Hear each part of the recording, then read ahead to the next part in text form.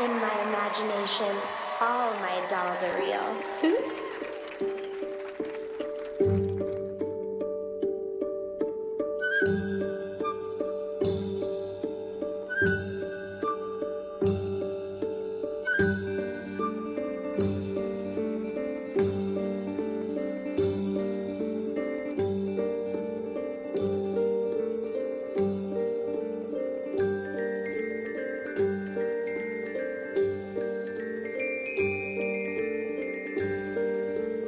Shh.